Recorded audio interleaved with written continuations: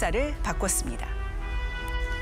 120년 전인 1898년 10월 1일 대한제국에서도 1만 명의 군중이 모인 대규모 집회가 있었습니다. 덕수궁 인화문 앞에서 10여일 동안 장작불을 피우면서 철야 시위에 나선 사람들. 이들은 왜 광장으로 나온 것일까요? 자, 오늘의 이야기에는 서재필, 윤치호, 이완영, 주시경, 이승만, 이 근현대사의 굵직한 인물들이 총 출동합니다. 역사 저널 그날 120년 전 대한제국을 뜨겁게 달군 대규모 집회 만민 공동회 그 광장의 기억을 소환합니다.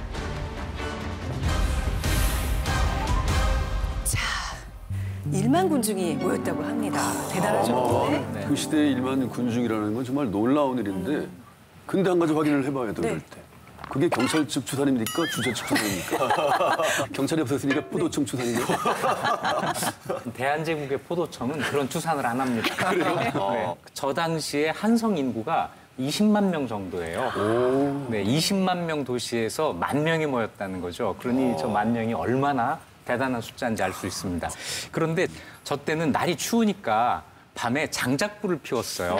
그래서 장작불이 이제 타올라 가지고 불빛이 하늘에 치솟았다라는 기록까지 있는데요. 그래서 엄밀히 이야기하면 대한제국판 촛불 집회가 아니라 네. 장작불 집회. 네, 이렇게 얘기할 수 있죠. 20명 중에 한 명꼴로 지금 참가를 한 건데 이 정도면 광장 정치의 시작이라고 봐도 그렇죠. 되는 게 아닌가 싶고 네. 근데 다만 이때는 아직 사람들이 민주주의 이런 개념은 몰랐을 것 같은데 어떻게 이렇게 대규모 집회를 어, 누가 주최를 하고 또 결성을 했는지 상당히 네. 궁금합니다. 만민 공동회는 독립협회가 주축이 돼서 진행한 대규모 집회였죠. 1898년 3월부터 12월까지 큰 것만 네 차례 정도 열리게 되는데요. 독립협회 회원들과 상인, 노동자, 그리고 일반 백성까지 각계 각층이 참여하였습니다.